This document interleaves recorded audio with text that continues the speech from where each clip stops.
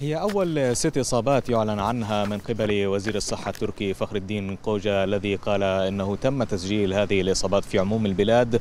هي خمسة في مدينة إزمير وواحدة في مدينة إسطنبول. وزير الصحة التركي قال إن الأعراض على هؤلاء المصابين الستة هي طفيفة ولم يستدعي ذلك نقلهم إلى المستشفى ويجري متابعتهم في العيادات الخارجية. السلطات التركية كانت شددت من إجراءاتها وفحوصاتها في المطارات. منذ الإعلان عن أولى حالات أوميكرون في جنوب إفريقيا وتقوم بعزل أي حالات مشتبه بها قبل دخولها البلاد. يأتي ذلك في وقت تسجل فيه تركيا معدل إصابات يقترب من 20 ألف إصابة يوميا بفيروس كورونا. وذكر لنا مصدر طبي بأن معظم هذه الإصابات هي تعود لمتحور دلتا.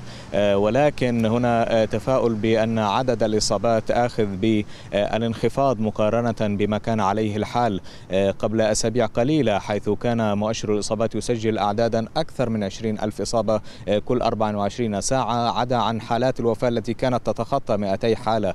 يوميا الآن انخفضت إلى أقل من هذا العدد بقليل. هنا أيضا تتسارع عمليات التلقيح والتطعيم لكافة الفئات العمرية بما في ذلك تم فتح باب التلقيح للأطفال من فوق خمس سنوات. طبعا شريطة موافقة الوالدين والتعويل كبير على مسألة نعم. تسارع عمليات التطعيم التي سجلت معدلات تزيد عن 80% بين السكان. من إسطنبول مفدنا محمد مشهراوي شكرا لك.